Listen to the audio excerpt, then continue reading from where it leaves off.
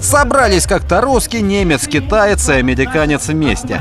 И это не начало анекдота, а суть выставки автодостижений по версии Орловского автомобильного клуба. Отныне удобны не только машины, но и знакомство с ними, говорит Наталья Музалевская, знакомясь, в свою очередь, с потенциальным покупателем и клиентом. Тот просто шел мимо, когда заметил этот парад авто. Так и оказался в этом «Опеле» уже что подценить и прицениться.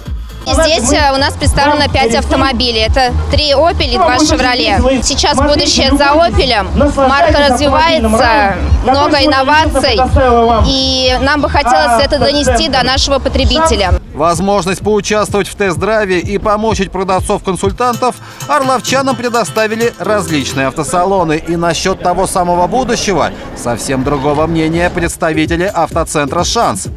Небольшое падение рынка существует в России. Единственный, э, у кого положительная динамика, это китайские производители. Так как э, китайские производители сейчас э, подтянули качество, это не те машины, которые заходили на рынок.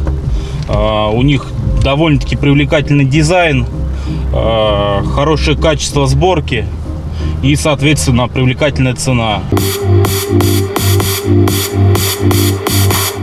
Праздничное настроение создавали не только автопродавцы, зазывающие порулить, но и гоу-гоу танцовщицы, радующие глаз представителей мужской половины. Наиболее отличившихся участников праздника его организатор похвалил и одарил за победы в конкурсах и приверженность автомобильному движению. Этот большой тест-драйв должен стать ежегодным городским мероприятием. Его продолжение обещано уже следующей весной. Сергей Быковский, Эдуард Чернаускас, телеканал «Первый областной».